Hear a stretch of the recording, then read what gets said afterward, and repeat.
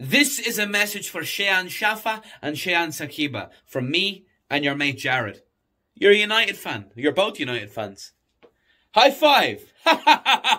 5 0. you lost 5 0 to Liverpool. How embarrassing for you. You are deluded. Both of you are so deluded for Sporting United. Just listen, it's not too late. Come and support Liverpool to save yourself the embarrassment. 5 0. Ole's at the wheel. Tell me how good does it do?